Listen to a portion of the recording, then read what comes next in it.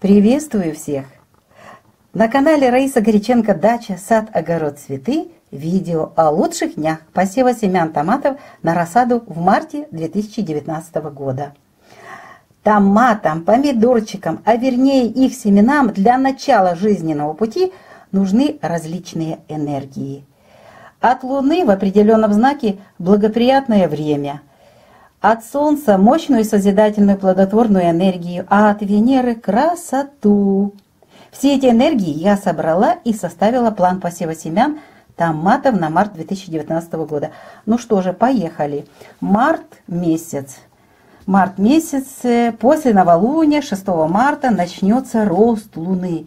И в это время как раз будет идти вторая половина 12 солнечного месяца – а 12-й солнечный месяц всегда посвящался заботе о нашей матушке-кормилице Земле. Ее наши мудрые предки называли нежно богиня нежности, богиня плодородия.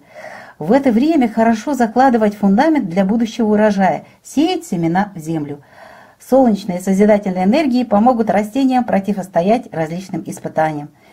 Это время 12-го солнечного месяца как раз совпадает со временем растущей Луны в марте 2019 года. Но не все знаки подойдут для посевов на рассаду томатов. Есть два отличных периода, которые мы можем использовать и которые я буду также использовать для посева наших любимцев. Итак, первый период – это растущая луна в плодородном тельце. Напоминаю, что время московское легко высчитать для своего региона нужное время. 10 марта после 10 часов, 11 марта все 24 часа, 11, 12 э, марта до 12 часов. Э, прошу взять на вооружение вот эту информацию, потому что Э, после 12 часов 32 минут и до 18 часов 49 минут Луна будет находиться без курса, а посев период спящей Луны может завершиться неприятностями. Лучше это время просто обойти. Еще один благоприятный период. Вот он у нас.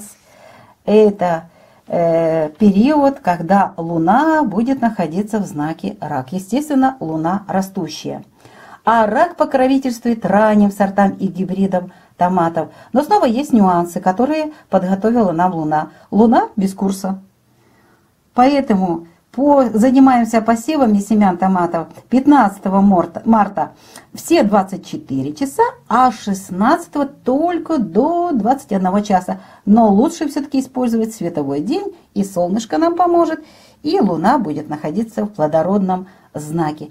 Вот эти два таких важных, благоприятных периода можно использовать для посева семян томатов в марте 2019 года. Я, Раиса Горяченко, напоминаю, что, напоминаю, что знание ритмов Солнца, Луны, других планет Солнечной системы помогут нам наполнить созидательным, позитивным смыслом все-все-все наши действия действия и особенно с самого начала наши действия посевов семян. Желаю удачных посевов и крепкого-крепкого всем здоровья и, естественно, очень хорошего настроения при посевах. Удачи, всего доброго!